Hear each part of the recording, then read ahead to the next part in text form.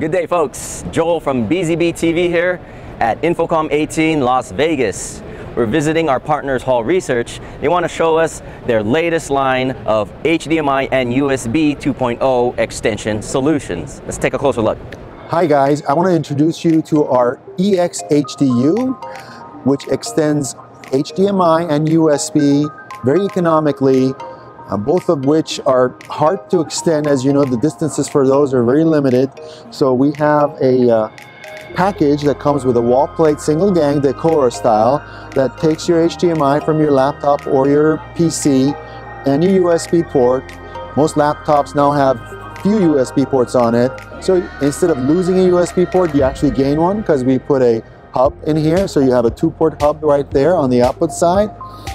A single Cat5 cable that plugs in this little channel. So the boot of the Cat5 or Cat6 in this case would stay right in this channel so it doesn't stick out the back. Powered from the receiver, the receiver looks like this. What do you get out? You get your HDMI output. We de-embed the audio, so there's analog left and right stereo audio output. There's another hub in here, that's a four port USB hub. You can plug devices like this screen right here. So this is a touch screen, which is a USB touchscreen.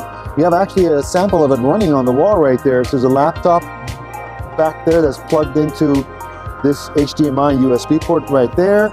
And this is the receiver. I have this touchscreen USB functions plug right there. HDMI there. But because it's a four port, if you had a camera on that TV, for example, a webcam, a lot of displays have that. You could also plug that into this USB. It's 480 megabits, so it doesn't care what type of, you're not limited to keyboard or mouse or touch screens. This also can control your TV. There's a whole control system built into it with RS-232, I.O., contact closure input and output, even IR, so you can control your TV through IR or RS-232. You can have contact closure outputs. This can sense the video, so if you want to automatically, uh, for example, lower a screen, turn a projector on or a TV on, you can have it detect the video and initiate all those kinds of commands. Um, and there's two models available. Uh, the basic model that I talked about, but there's also a EXHDU-IP that adds IP connectivity with a built-in web server in the receiver so you can actually access and see what's going on and control those control functions uh, from your smartphones or devices like that.